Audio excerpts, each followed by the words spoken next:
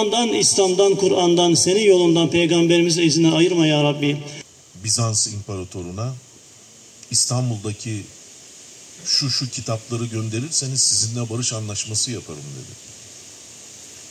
Kitaba, bilgiye, ilime değer veren bir milletin mensupları oldu. Biz bu yurda aşığız, duysun cihan, duysun deniz, duysun.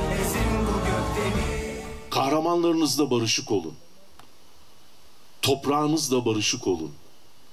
Sınıf arkadaşınızla, okul arkadaşınızla dost olun. Ne güzel söylemiş değil mi? E, verilen bu vatanda e, sonuna kadar emeklerimizle, yeteneklerimizle hür ve özgür bir şekilde yürüyeceğimizi umuyorum.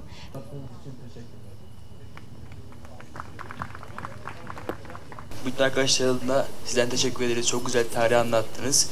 Teşekkür ederiz. Biz de teşekkür ederiz.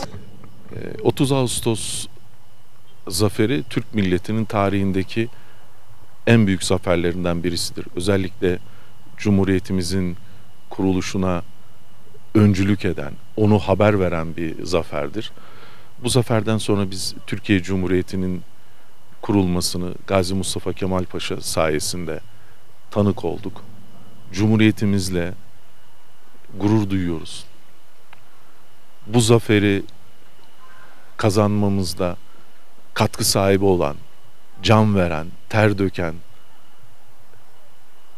bütün varını yoğunu vakfeden Kahraman Mehmetçiğimize, onun komutanlarına ve onun başkomutanı Gazi Mustafa Kemal Paşa'ya şükranlarımızı ifade ediyoruz. Onların ruhu şad olsun.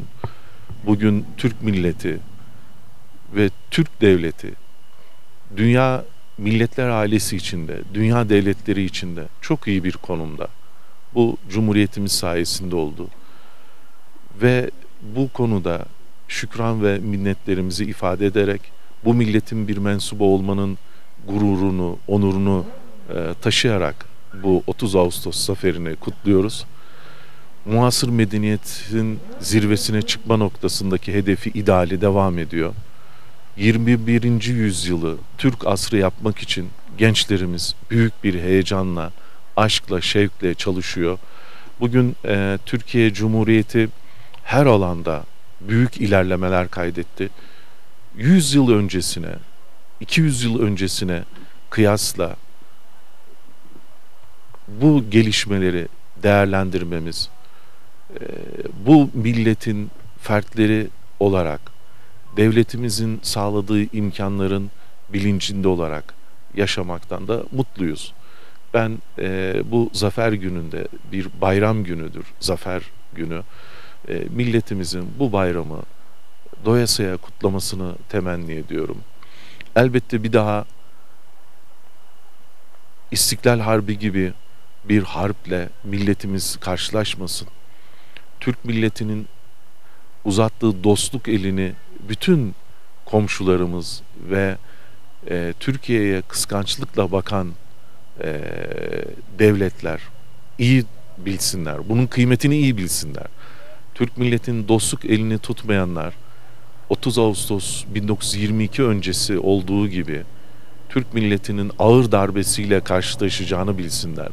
Biz bölgemizde e, barış istiyoruz, sulh istiyoruz.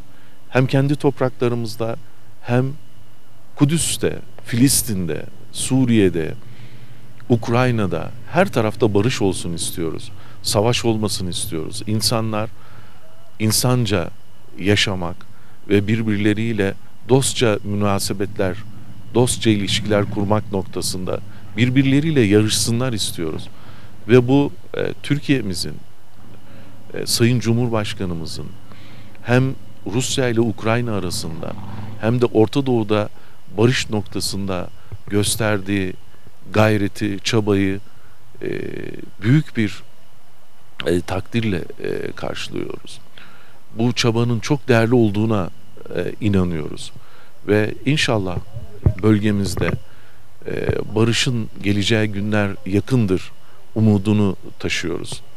Bu bakımdan e, 30 Ağustos zaferini kazanan kahraman Mehmetçiğimizle ve bu uğurda e, canını ortaya koyan kahraman komutanlarımız ve onların başkomutanıyla gurur duyuyoruz ve ruhları şad olsun diyoruz. Milletimizin 30 Ağustos zaferi kutlu olsun.